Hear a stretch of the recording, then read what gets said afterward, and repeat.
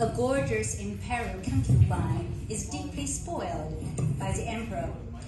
During the Moon Festival, she's planning a banquet and expecting the emperor's visit.